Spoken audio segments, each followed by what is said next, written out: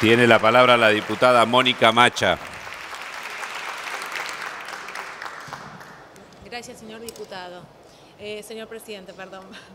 Eh, bueno, en principio me parece que yo quiero resaltar todo lo que fue la construcción transversal de este dictamen y lo que significó militar durante estos meses este proyecto.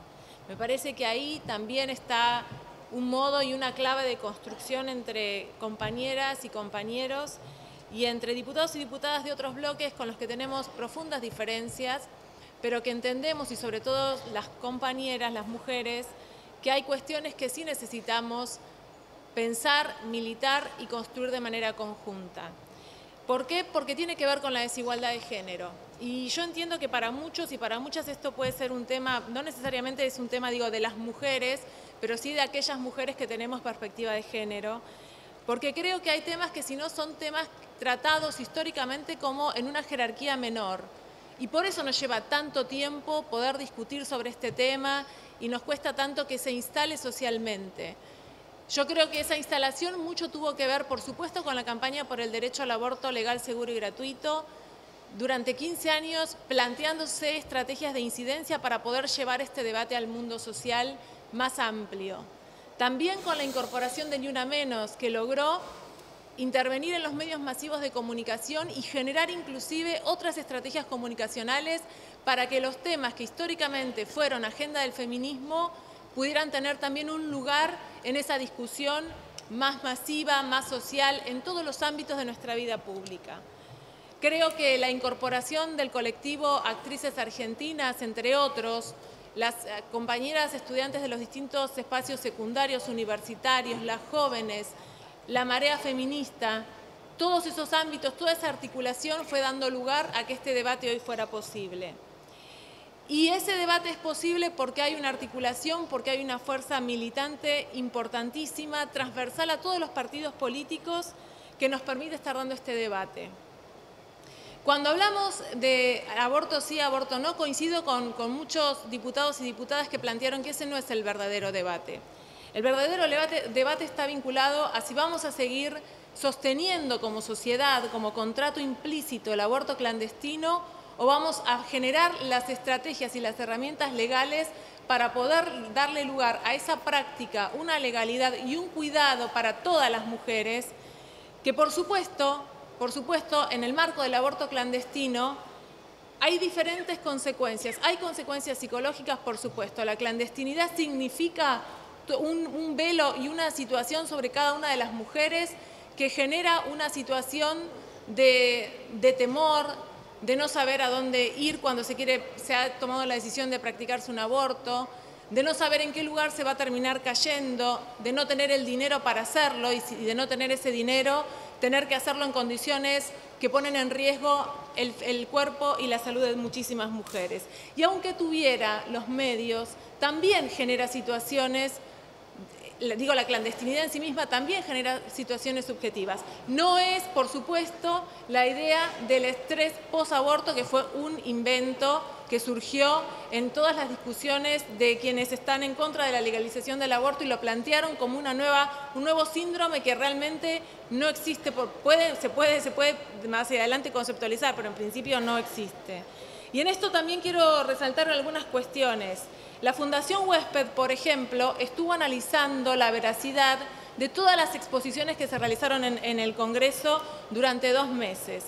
Fueron 738 exposiciones. De esas 738 exposiciones, tomando las exposiciones que fueron en contra de la legalización del, del aborto, bueno, el 52% se resuelven que son falsos. Esto por la Fundación Huésped el 25% de esos datos son inchequeables, o sea que no son aptos para usarlos eh, como fundamentación en una votación parlamentaria el 15% solamente resultó verdadero y el 7% dudosos. En el caso de quienes de las argumentaciones a favor de la legalización del aborto, esos números cambian absolutamente y entonces todos, el, 92% de las fundamentaciones se, se consideraron verdaderas y solo el 8% difíciles de chequear. Digo como para también pensar sobre qué datos, sobre qué argumentaciones estamos basando nuestras exposiciones. Yo decía que el aborto clandestino tiene, por supuesto, consecuencias en las personas, consecuencias subjetivas, consecuencias en el físico, las consecuencias más graves cuando implican la vida de las mujeres, consecuencias familiares. Si vamos a los costos en términos económicos, el aborto clandestino implica un gasto superior para el Estado si esos abortos fuesen legalizados, porque implican las internaciones de alta complejidad, porque implica internaciones de mucho tiempo y eso en términos de salud pública es un costo mayor que la legalización del aborto. También pensar en sostener, como se sostiene, si esta ley no saliera, se sigue sosteniendo el aborto clandestino, significaría también sostener el negocio que significan las clínicas para el aborto clandestino, significa sostener lo que es la producción del misoprostol en términos clandestinos, porque es muy difícil para una mujer que toma la decisión de poder hacerse un aborto con misoprostol conseguir esas pastillas. Lo que salen esas pastillas en el mercado negro son mucho más, mucho más este, costosas que si fuesen producidas por el Estado. Y si fuesen además parte de una receta y de una indicación médica sin mayores complicaciones. Ahora, creo que todo esto que estamos debatiendo implica tantos tiempos, implica tanto un periodo histórico de tantas décadas y estamos hoy pudiendo llevar adelante este debate porque en definitiva se trata de los cuerpos de las mujeres, de nuestros cuerpos, que históricamente han tenido un, tutelaje por distintos sistemas, educativo, sanitario, judicial, por el propio discurso religioso, un tutelaje y un intento de, disciplinamiento constante a aquellas mujeres que se animaron a querer ser desobedientes con el patriarcado, con los sistemas que actualmente nuestro Estado conoce y promueve. Por eso creo que estamos hoy recién hoy discutiendo todas estas, estas situaciones. Eh, me parece entonces que como legisladores y legisladoras tenemos una función representativa y que esa función implica poder separar por un momento las creencias religiosas, la situación y lo que haría cada uno y cada una si se viera en un momento en donde tuviera que definir un aborto. No importa lo que hacemos nosotros ni en lo que creemos nosotros religiosamente. Importa, sí, que esto implica la muerte de muchísimas mujeres en la Argentina todos los años y que de no legalizar el aborto, esas muertes se van a seguir produciendo.